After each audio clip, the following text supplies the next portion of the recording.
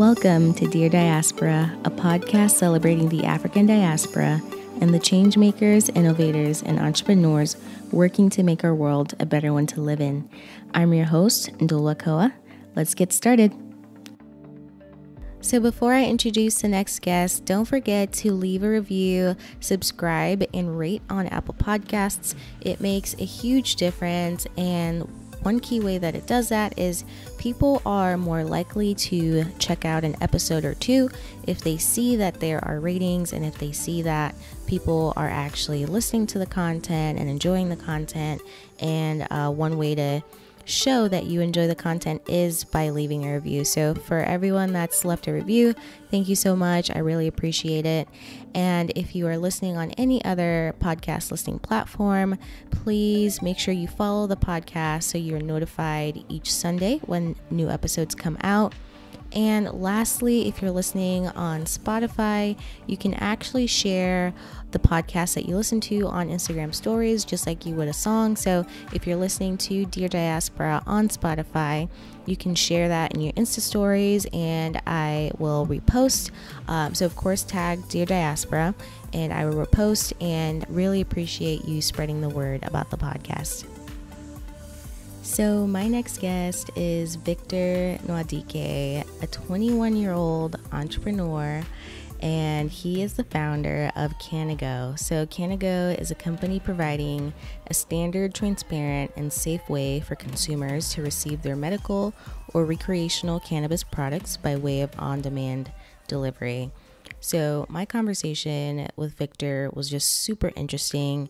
He taught himself how to code and develop apps by 15. By the time he was 17, he developed and launched three applications that were ranking on Apple's iTunes App Store and he walks us through his journey going to school, teaching himself how to code and develop websites, and then starting this cannabis technology company.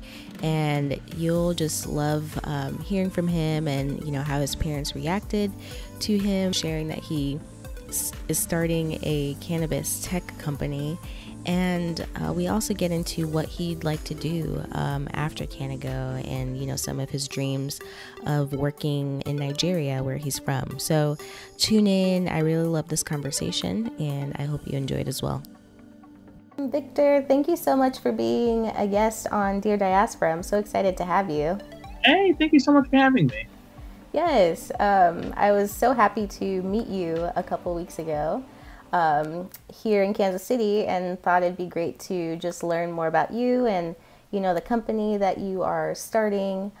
Um, so I always start by asking guests like where you're from, uh, where did you grow up, and um, just what's your experience been like um, just growing up in the U.S. Oh yeah, sure. So I was originally born in Nigeria, um, full blown Americanized at this point. I moved to the States when I was four years old. I grew up in Miami.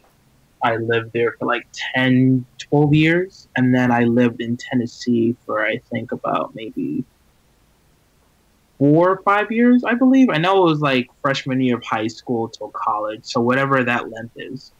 Um, and then I moved to Atlanta uh, for uh, college. I went to Morehouse College.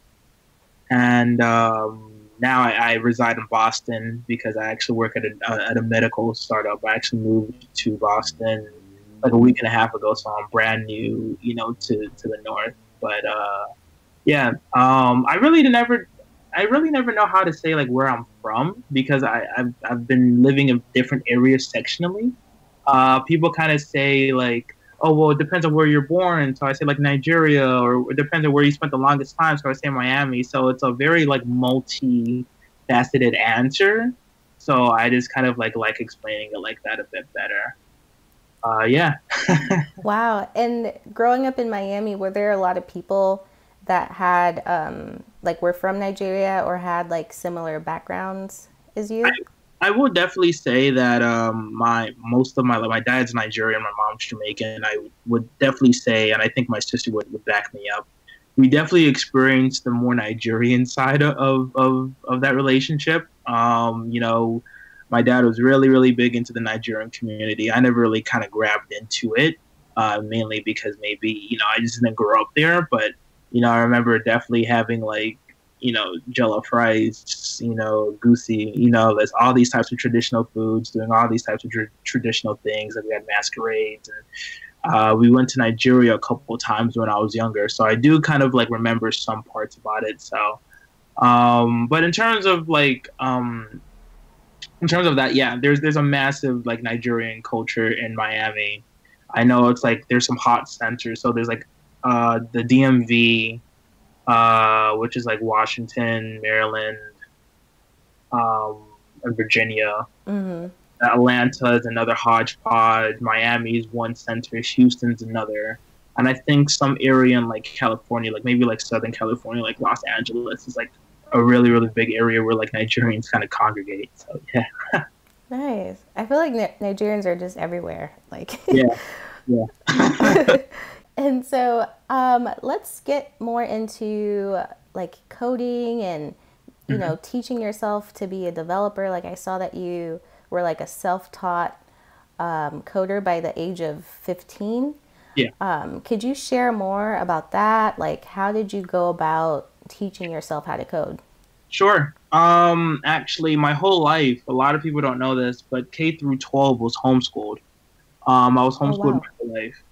Um, college was was uh, the first kind of, I guess, traditional quote unquote structured type of education that that that I had. Not to say homeschooling wasn't structured, but um, when you kind of think in, when you think of school in that kind of sense, that that's really where my exposure level started um, people were like, "Well, you know, I never would guess because you're social," and I'm like, "Ha ha." That's funny. um, the moniker is true because there are kind of some antisocial people who really don't speak. But my mom made made it an effort to kind of involve me in terms of a lot of stuff. But to kind of get back onto topic, um, I kind of give that background because when I moved my freshman year of um, of high school um, from Miami I lived in East Tennessee, uh, like Sevierville, Gatlinburg, you know, area. It's really, really cabiny. It's definitely nothing like Miami. And so I remember I told my mom, I was like, hey, mom, like, I'm really bored. I have no friends. Like, like I have to, I have to do something with my life. I'm really like, I just need to do something because doing school and unpacking and just watching TV just isn't it, chief. And she, uh, she basically was like, you know, you like games. Why don't you figure out how to code? and I was like, how the hell do you do that?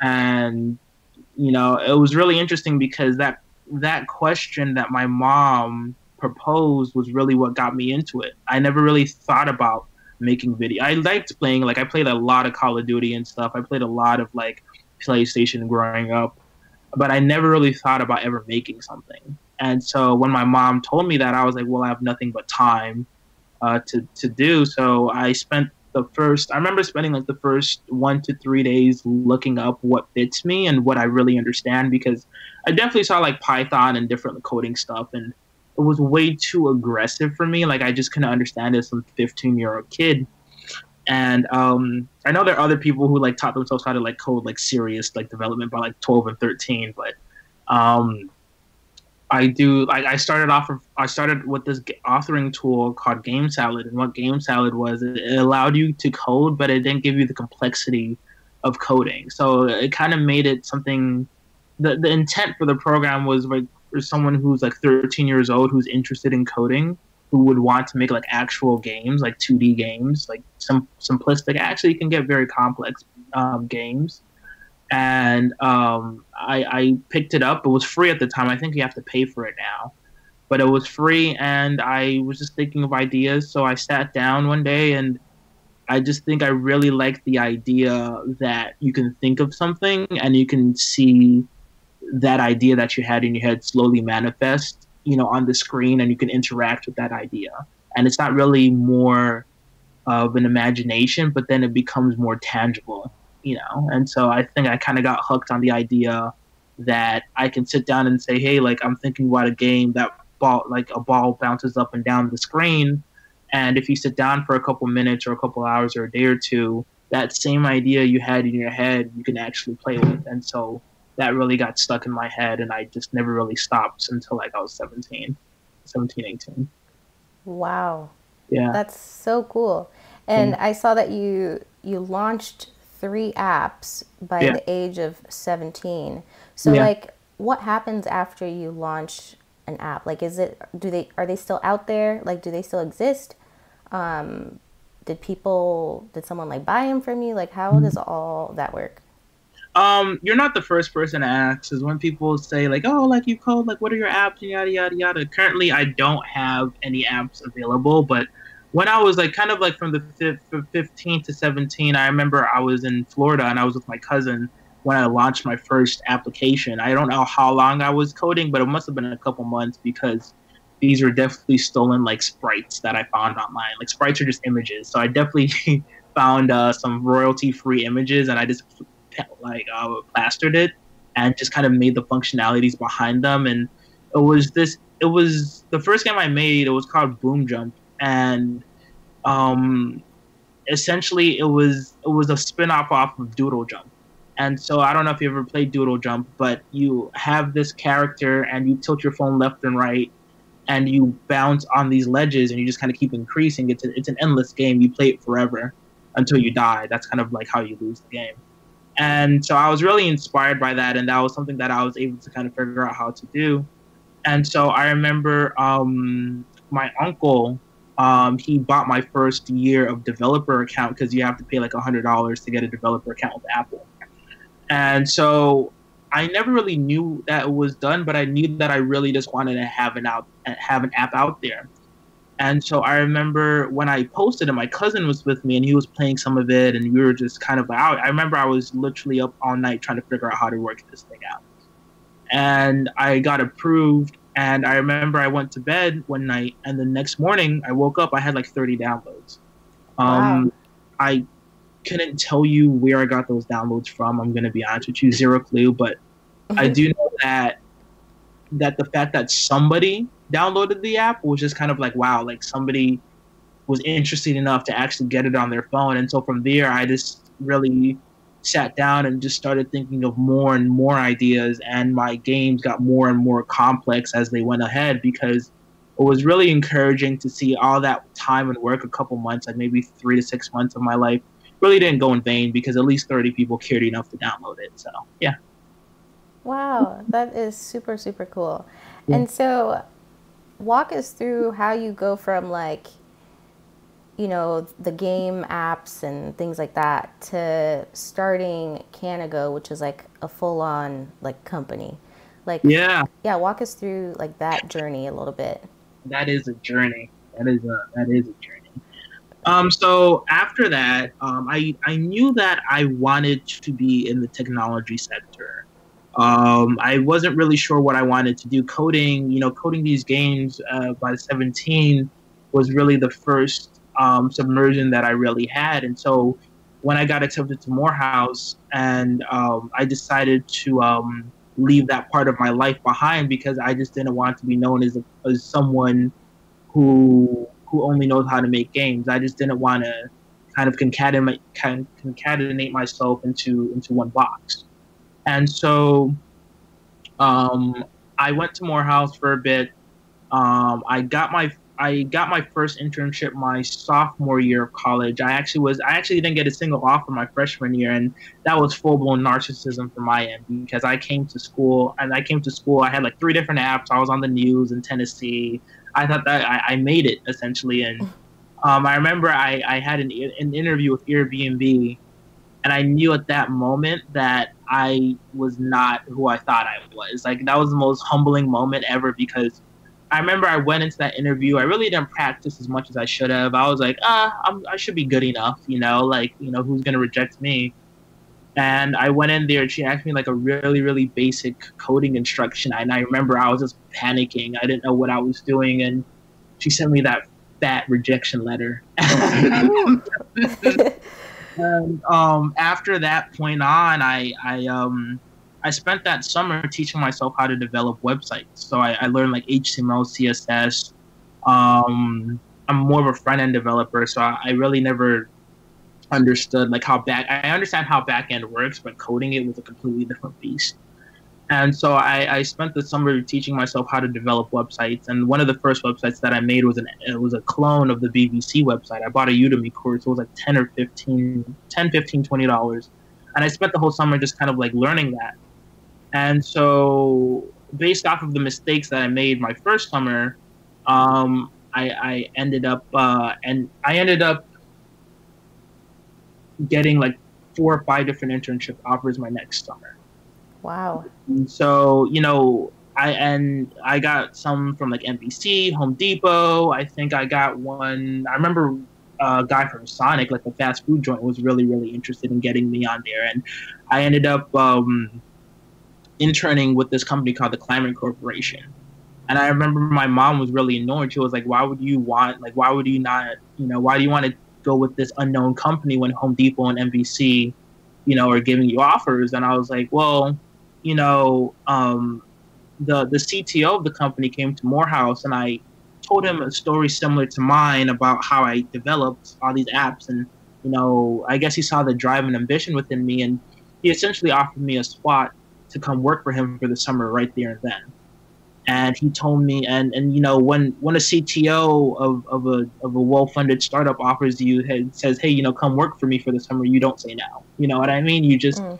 you just do it and I guess that's kind of similar to how I am. I'm very opportunistic. I guess that's how I'm in Boston now. But um, you know, when someone like that gives you an offer, you just take it. You know, um, I'm pretty sure I would have done well at NBC or something, but I know for a fact I would have not been working for like an executive. You know, and so just being out in in uh, in California, being able to kind of create that relationship with my boss, being able to kind of see how startups are ran, and I knew that I always wanted to be an entrepreneur. And um, really, that moment was really pivotal because the main reason why I decided to start my start my um, start my uh, my company, and I knew I was able to kind of do this, was um, there was there was there's this event in the Bay Area that they hold every every summer. It's called Intern Palooza, and um, essentially it's it's imagine like your school career fair but like on steroids. People comes out there everyone comes out there everyone's just recruiting and they have a lot of these like esteemed really really successful individuals come out.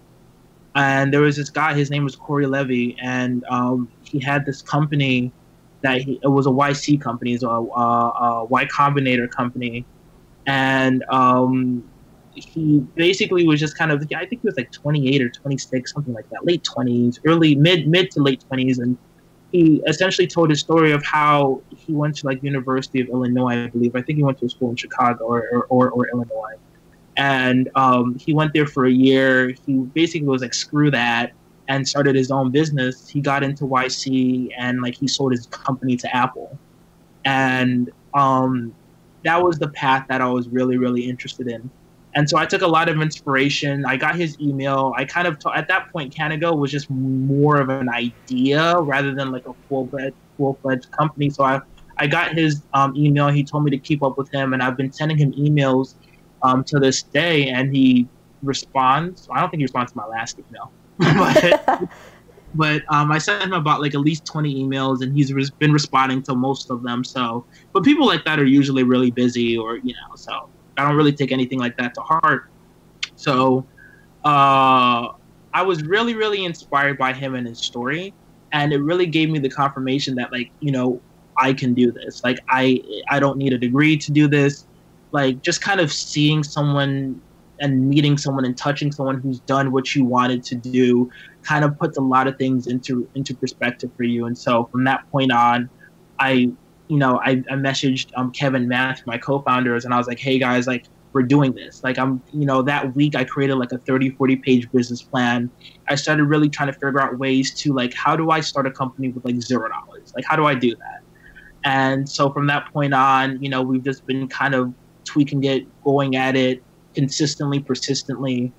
And, um, you know, you, you just you know, if you're persistent and you're passionate enough and you're willing to get growed and listen to really, really smart people and and and accept the fact that you're not the smartest person in the room and there are people who are 10 times as smart as you and you take their critiques um, you know you eventually kind of end up in situations where you're like part of ohub kc and you're sitting down talking to investors and you're really at the last stages of an idea and really maturing into a startup, into a proper startup.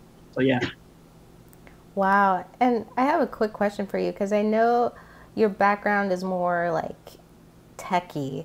How mm-hmm. did you put that business plan together? Like, how did you know, like, you know, what to put down for like financials, marketing, like all that stuff? Like, how did you Google it or how did you put that together? Um, it was a mixture of both. Um, so the my team is is pretty is pretty diverse within our skill sets. One thing that I I I do, and maybe it's because I'm an Eagle Scout or something like that. I have no idea, but but I do think that one thing that I learned was complementary skills. Right, um, know what you're good at, be honest with what you're good at, and find other people who are good at other parts that you that you lack in. Right. So I'm not the best like marketer. Right. I can come up with marketing strategies. I can come up with different like you know financial financial plans and stuff. But in terms of like really executing and being passionate about it, um, that's not my strong suit. So um, Matthew, he was like he's uh, he goes to Morehouse and he's a, a, finance major and he's really really passionate about finances. Like, I mean, I'm, I can do marketing, but finances is just like a different beast. And he would sit down here and he created like a five year like plan, how much money we are gonna make, our CACs, all that fun stuff. And so he really was like the backbone for our projections and that really helped a lot in terms of like having conversations with investors because he sat down and made it palatable and kind of saying like well okay well if we need like for CannaGo to get to this stage we need this amount of money and this is exactly how much we're going to burn. You know what i mean? Like so he helped a lot by bringing that expertise to the table. Kevin he's technical. So i would say more for me i'm more on the um business strategy uh, product end. That's really where my strong suits are, and that's what I'm passionate about. Um, Kevin enjoys like you know being like a product man, like a technical product manager. So he works on like the development side, the coding end, looking up all our back end and front end, and kind of thinking about how like the core platform is built out. Um, Matthew loves you know the uh, marketing and coming up with financial projections. So it's really just kind of like figuring out, you know, finding well, finding people who are serious uh, because it was interesting how I found them too. But finding out how you know people who are serious and um, really seeing where their weaknesses are, seeing where your weaknesses are, and seeing what value you guys can you know equally bring to the table. So that's kind of like yeah how, how I kind of built out the business plan and as well as Google and YouTube for sure. Google University. awesome. Yeah. And so CannaGo, um, would you like I, I have the description of like what it is, mm-hmm. but do you want to kind of share um, you know what CannaGo is exactly and how it's gonna work for yeah. like users or people? So in like 2018, um, to kind of I guess show you how far back we've been thinking, because I did have another company that I tried to run for a bit, completely failed. I tried to re, re rerun my my dad's old engineering firm, and I utterly failed at that. And I, I enjoyed the fact that I failed at that because it really kind of let, me know what I'm good at and what I'm not. Um, so uh, I wouldn't necessarily say it was a failure financially, completely it was, but I think like uh, growth wise it was. So I think that was really needed for me to kind of like lead CannaGo in a proper a proper area. So originally, uh, the the idea for CannaGo came out. We wanted to be originally in, in, in cannabis. So the idea was very simple. I remember um, me, Matthew, and other people at that time, we would meet up in Woody, like maybe Woody was the, the, the central library for the AUC. So that's like Spelman, Morehouse, and Clark Atlanta University. And that's a central library that everyone uses. And we would meet up and we would kind of have a think tank and say, hey, like, you know, what are some ideas that, that we can do? And I remember saying, like, hey, you know, why don't we make a cannabis delivery application, and we just kind of put it in the think tank, and we just were just, and one day I just kind of started take, taking it a bit more seriously. So February 2018 was really the idea of CannaGo. Originally, we wanted to be a cannabis uh, delivery uh, application, similar to the same business model and same product that we're providing now. The main reason why we're doing CBD is just for legality reasons and investor reasons. But um, in a nutshell, CannaGo is a is a standard, transparent, and safe way for consumers to receive their CBD by on-demand uh, delivery. So you can think about it as like the Grubhub or the Uber Eats or the DoorDash for CBD products. Um, what we're doing is with our patented technology is that we're verifying the supply chain of uh, of CBD. So recent news, um, the vaping incidents about how those tampered um, cartridges came along. Um, those were those were um, cartridges that came from legitimate sources. However, there was tampering wherever the supply chain might have might have um, ended up. What our patent does is that we're able to take using blockchain technology, we're able to kind of like do a reverse cycle and say, okay, well, here's one tampered e-cigarette cartridge. Let's follow the chain back. Let's follow the chain of custody back and verify, hey, you know, where could this have been tampered? And we're able to kind of do that in an autonomous fashion and um, really be able to provide a, a safe way, a, a, verified safe way for consumers to receive their, their products so they know that whatever they're ingesting is safe for them to consume. Very, very cool. And so I'm semi familiar with blockchain technology. So, mm-hmm. how do you get each person in the supply chain to essentially they would have to like record or like, you know, so, somehow keep track of each activity that they do, right? And like add it to this like shared um, ledger. Like how does how does that work? So Kevin, uh, that's actually Kevin's department, but I definitely will speak on him because he, he really liked this idea because we were brainstorming, we were wondering what's the best way to do this. So we wanted to do it in the most simplistic way, and we wanted to. Uh, we're, we're definitely building out this technology. We own the idea to it, so it's not hundred percent like in full fledged. That's kind of what we're raising the money for, is to kind of build this idea into something more tangible. Um, but how we envision this product to work right now, version 1.0 and CannaGo Trust, that's what we call it, um, is that we want, um, let's say, so when, when you when you think about the uh, the life cycle for CBD, right? It's it's the grower, then it goes to the wholesaler, and then it goes to the dispensary, then it goes to the to the um, to the consumer, right? Mm-hmm. So I mean that's, that's those are the those are the, like the four main main main parts of. So really, what we want to do is that we wanted to implement a QR code scanner uh, where a label would be printed, and based off of that label, um, we wanted individuals to um, scan that scan that label. From that point on, it would kind of tell us, hey, who's who currently has the chain of custody.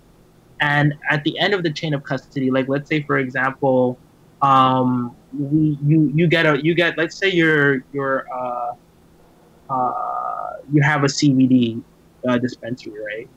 And so we go from Seattle, right, where it's grown from. That's just a place that I'm picking, and then it gets shipped all the way to, to Delaware, and then from there it goes all the way to your to your store. So from that point on, in terms of our CannaGo system, based off of the QR code implementation, in terms of just doing a quick scan, because people on like UPS, they do that. That's how they that's how they're able to say your package has been delivered, or or um, your package is this far away, or your package has gotten here. It's by a quick scan.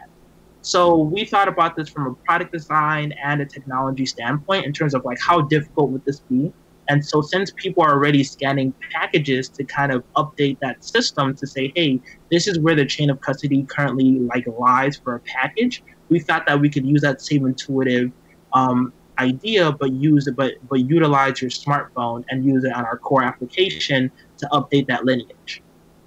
Ah, got it, got it. Yeah. That's cool. And so, from like a regular person that wants to, let's say, order their CBD oil, they're they're doing it just the way they would maybe using um, some other competitor mm-hmm. like but then your like added i guess value is that you are verifying that it hasn't been tampered with in any way and that it's like a good quality product right what we're verifying is the chain of custody right? So at the end of the day, when you uh, the the idea is when you go on our application, you see John Doe CBD product, right? Um, based off that John Doe CBD product, you'll be able to tell who whose like chain of custody it was from and who who's uh, who touched it and when it was harvested. So you know if you're getting the freshest quality CBD oil, edible, topical, whatever it might be, and you'll be able to also say like, okay, this dispensary touched it, this wholesaler touched it, and it was sourced from this area. So that's what we're doing. We're we're we're essentially making it more transparent. I don't want to sit down here and, and claim and say, hey, yeah, we're making CBD 100% safe, so like there'll be no issues because I mean, if someone gets sick, you know, um, that's an absolute massive litigation. But what right. we are doing is that we're showing that we're making it more transparent by showing the chain of custody and being able to to present uh, where your product is being sourced from. That's what we're doing. Yes. Mm. So you can make uh, uh, so you as the end consumer can make more educated decisions and say, okay, well, hmm, this was harvested this day. Uh, I don't like it, or this was touched by this person. Uh, I don't like it. You kind of get what I'm saying? Totally, totally. Yeah. And just one more question. So, is the average CBD user educated enough to know that I don't want to buy something that was harvested two years ago or something like that? Like, do people have that sort of knowledge about CBD or?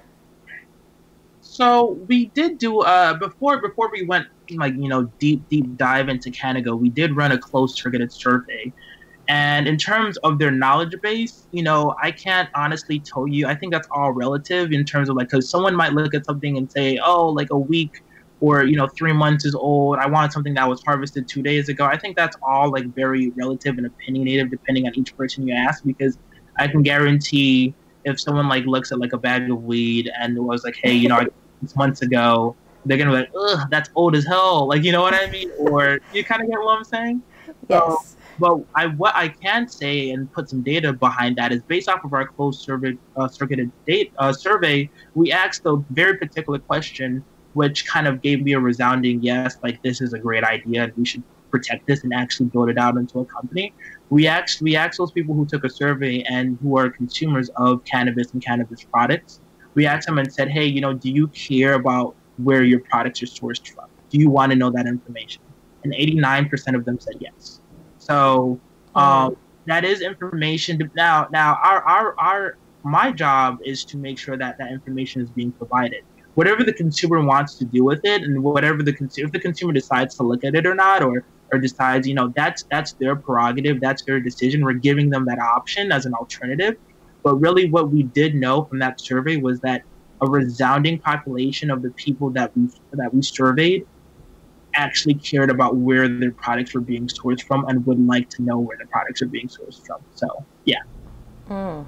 Yeah, I mean, I, I totally think this is a great idea because I feel like with any product these days, people want to know mm-hmm. who, who made it, you know, where is it coming from? Was it like sourced in like, you know, an ethical way? Like, mm-hmm. people want to know more. Um, so I think you guys are onto something for sure. Um, and so, what did your parents think about you starting essentially like a CBD company? Like, are they like conservative or were they uh, super supportive? Like, what was their reaction when you first told them? Um, they weren't. They were. I think my parents are very old culture. They're old. They're very old timey. My dad's Nigerian. My mom's Jamaican. So education is like the biggest thing for them now. Um, and when I say education, I mean degrees. That's what that's what that's what that's what I mean. Like the fact that you have a degree and you have multitudes of degrees. It doesn't matter if you're the smartest person in the world to them. If you don't have like a, degree, it's like, well, who are you? You know. But but right. So it was pretty overbearing to kind of say like, hey, you know, I'm leaving school and I'm also starting a weed company. like, you know, like, like um, you know, to start selling weed. Like for, for them, I do think that um, at the beginning they were very, very much against it. Um, you know, they were against it. I'm not gonna say very much. It was blatant that that that they don't want me to do this. But I think that they've kind of got into an age where they are trying to be as supportive as they know how and the fact that I told them that, like, hey, you know, not only can I make money from this, but this is legal and I'm not going to go to jail. I think that kind of that kind of helped them a lot. Um, and I think they, um, when I started kind of like getting advisors and getting a founding team, and they were able to really kind of see tangible evidence that this wasn't just me selling weed, quote unquote, because that's what a lot of people were just kind of. And I used to get really offended by that. I was like, what, what the hell? Like, I'm not selling weed. Like, you know what I mean? Like, why are you using such a why are you trying to like downplay what this is? You know, I can go sell weed, that's no problem. But but you know, we're we're trying to do something here that's like revolutionary, and I don't want to say disruptive because I think that's like a a, a yucky word that a lot of like Silicon Valley ish people use. Like, oh, we're disruptive, but no, very overused. Yeah, yeah, overused. You know, and so I really just didn't like how we were defined as an application that sells weed because we're doing a lot more than that. I would I'd rather say I'd rather have people saying, "Hey, you guys are selling safe weed." I'd rather be I'll be I'll be I'll be better at that. But um, just kind of the connotation that goes behind just someone selling weed was I don't know it was really disrespectful to me. But I do think my parents were really against it at first, and I really didn't get the initial support that I liked. But I do think once they kind of realized that I was really really serious about this, and um, you know, I had promised, and my my dad actually started sending sending me. We have a family group chat, and one day my dad just sent me an article about like the profitabilities of the cannabis company. I mean, can, the cannabis uh, sector and the CBD sector. And so my dad once in a while he sends me articles. So he went from being like kind of like hesitant against it, you know, to send me articles, kind of saying like, hey, you know, what are you guys doing? Like, you know what I mean? Like, hey, let's try let's try to hop on this train. Like, don't leave it. So um, it, it's kind of better now and it's easier that I can openly because I, I ran this company, I ran this idea really for like eight, nine months, almost a year without them knowing because I was just afraid of what they were going to say. Were they just going to shut down the whole organization? Were they just going to go to Atlanta, pick me up, and like make sure that I never get back to Atlanta again? So I was kind of scared, but um, when I told them about it, you know, I was really far deep into it, and I was able to kind of show them like, hey, you know, we're talking to these people, and we have this traction, we have this. So um, they eventually came around, but I would say I was definitely living in, in a nice bit of fear for a good year for my parents. oh my gosh, I yeah. totally understand. Wow. yeah, thank you for sharing that. Yeah, no problem. And so, do you see CannaGo staying focused on like CBD and can other cannabis products, or like do you plan to take the transparency aspect? Like, do you do you see that like working in with other sort of products? Yeah, so we actually wanted to. I mean, this is of course once we kind of like, well, first let's let's raise some cash, and then you know, but but we have a five year plan for sure, and we have uh you know the the way that the way that we see the company going is very very linear.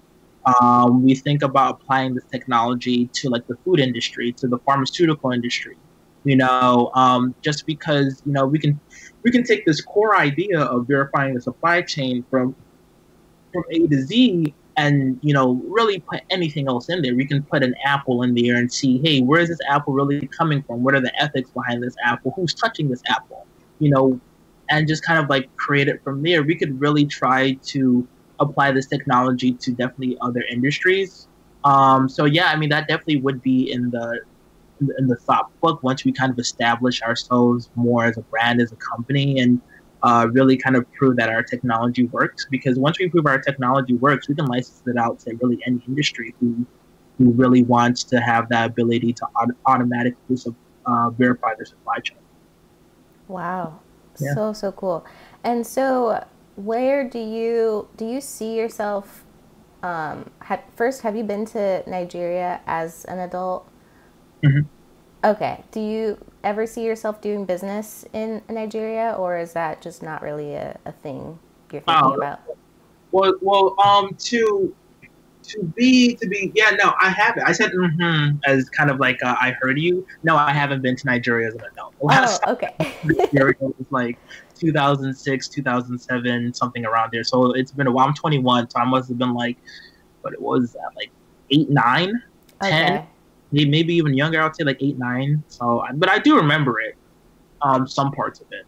Um, but I do think that after CannaGo, like post CannaGo, um, you know, let's say CannaGo is really successful, we have an acquisition, or you know, we just kind of keep it within the family, and we just kind of are keep generating revenue.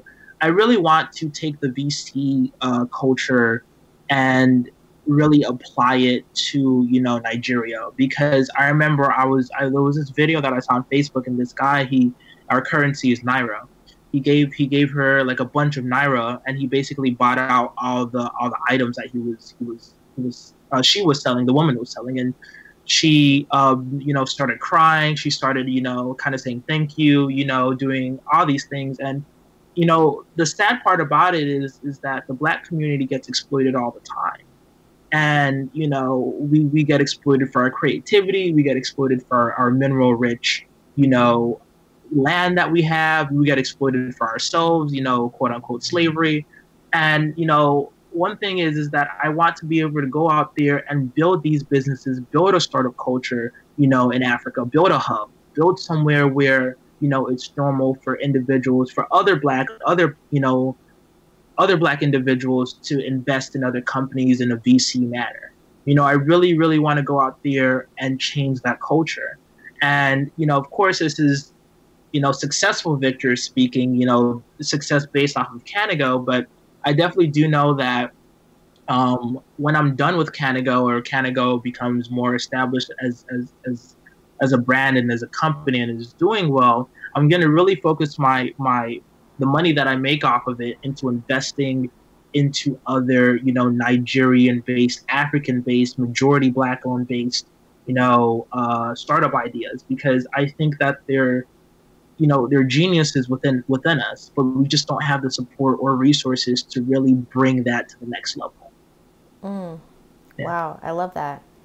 Yeah. yeah, that's super cool. And so, how are you going about raising money for your startup? Like, are you yeah, like who are you talking to? Are you fundraising? Like, did you do some fundraising in Georgia? How did that go? Um, I'm really talking to anybody who will listen. Mm-hmm. Um, I, that's kind of like where it's at. Um, I think, I think one thing that we completely missed was the idea of actually getting money behind this. you know, we were so focused on creating traction. We were so focused on the product. We were so focused on growth. We were so focused on everything that we completely forgot that hey, you know, at the end of the day, we're all college students. You know what I mean? Who have like no money, and actually will need some funding behind this to, to really get this anywhere. Um, you know, bigger than bigger than these kind of conversations that we're having amongst ourselves, amongst three of us. So um, I, I'm, I'm I'm very opportunistic. Um, networking was my thing. Um, I ended up kind of like leaving school for a bit. Well, I left school and I leaving school. For, I left school um, because I saw that that the secret sauce wasn't necessarily within the within the classrooms, rather than it was the network that that you create. And um, school never really taught you that. Instead, I was killing myself trying to learn French, and you know, not really passing anything. But um, I realized that uh, you just never know who you're standing next to.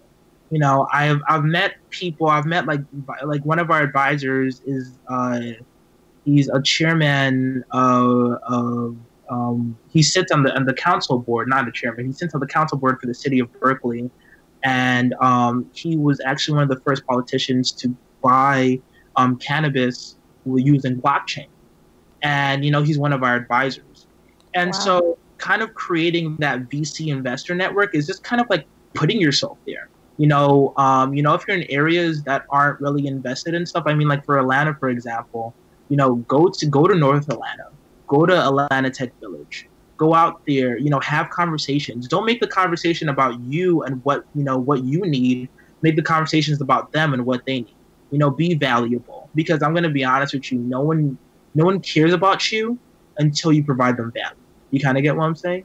Like mm. no, one, no one will care. I, I can probably you can have the you can have Facebook 2.0 or Facebook on steroids, but you know if you don't know how to have a network and really try to have a conversation with the person because like you have to realize like when you're speaking to VCs, VCs have made it. You know, VCs aren't worried about their lights. VCs aren't worried about how they're going to pay off their student loans. VCs have enough disposable income where they're willing to invest hundreds of thousands to millions, tens of millions, or even hundreds of millions, or even billions, depending on you know what VC you're talking to.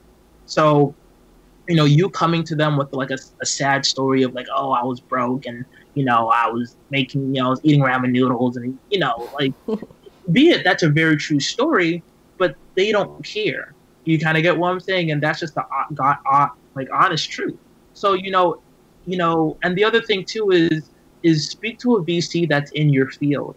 Um, I think for me, it's like anytime I heard VC, I was like, oh crap, let me pitch CannaGo, let me talk about CannaGo. But CannaGo at the at, at, at its core of an, an idea is is a is a is a cannabis, you know, CBD cannabis application. And I'm out here trying to pitch this idea to someone who's a real estate mogul. And not saying that they don't understand, you know, you know, business is business fundamentally, but that's not their industry, and they won't know it better than someone who's a cannabis VC. So I think, um, you know, I've been trying to figure out more VCs who are within my region. But the other thing too is just really putting yourself out there, networking. Go out there and get grilled. You know what I mean? Like Matthew, Matthew and I can tell you the time we went to Atlanta Tech Village, and I'm pretty sure you can find it. We got chewed alive. It was terrible. You know, um, we thought we knew enough, but you know, it's moments like that when you get actual investors grilling you, talking about like, "Hey, why are you doing this? You don't even have an answer for this." Is is is really really humbling because you realize that okay, you don't know it all, and you want to get to a point where you can't get grilled anymore, where you're literally looking for people to grill you, where you're looking for people to like try to disprove you, and they can't because you have all the facts behind you. So you know, taking on i mean you need that rejection. I mean if you want to be an entrepreneur if you want to be successful if you want to be a standout individual you have to be willing to take constructive criticism and not take it personal. And you have to be willing to take it from people that you look up to. You have to be taking like hey like you know if you know someone who's a vc who's your friend be like hey like look at this and tear me apart. I want you to tear me apart because if you can't tear me apart and you're a vc that means i've answered every single question that you can ever ask and i've proven everything you kind of get what I'm saying? So yeah, mm. yeah. Wow. And so, how like if someone's listening to this episode, um, how can people like support you or um, like is it downloading the app or getting on like an email list or like how can people help you? Yeah, for sure. Um, you uh, our main hub of like kind of CannaGo communication right now is our Instagram. So we're at like CannaGo app. So C A N N A P P. Oh wait, it's CannaGo C A N N A G O A P P. Um, that's our uh, that's our tag, uh, CannaGo app. Um, from there, our website's in there, so we're like at trycanagoapp.com. We're also at canago.com, canagoapp.com. Um, but the main way to kind of get in direct contact with me would be going through our Instagram at CannaGo app, um, probably DMing me uh, or DMing DMing the Instagram, or the the main account follows me. So I'm at http underscore Victor. So if you look at who the account is following, it's following the co-founders and, and I. Um, so you know you can DM me from there. You can reach out to anybody from there, or you can look look me up on LinkedIn. Um, I have different ways I can definitely be reached at, but the main ways I think would be going through our um, CannaGo app Instagram, or or um, or uh, reaching out to me directly on Instagram at http underscore Victor. Uh, yeah, because I know I'll get it for sure if you use any of those channels. Very cool. I'll make sure to uh, include um, you know all those social handles and websites in the description so people can you know click on it and check you out. problem. Thank you. Yeah. So, yeah, thank you so much, Victor, for being a guest on Dear Diaspora. I really enjoyed learning more about CannaGo and all the things that you're working on, and I wish you all the best. Hey, you know, thank you for having me. It's, it's an honor that you'd even consider me coming on your show, so thank you. Thanks again for tuning in to episode 17 of Dear Diaspora. If you'd like to learn more about CannaGo, you can visit their website at www.canago.com, and the link is in the description. Also, I'd like to hear from you, so if you could take five minutes to fill out the Dear Diaspora survey, I would love your input so that we can continue to spotlight the entrepreneurs and innovators really changing the world across the African diaspora. And the link to that survey is also in the description. Thanks for listening to Dear Diaspora. If you like what you hear, subscribe, rate, and review us on iTunes. You can find us on Instagram at Dear Diaspora or visit our website at DearDiasporaShow.com. Thank you and talk to you next week.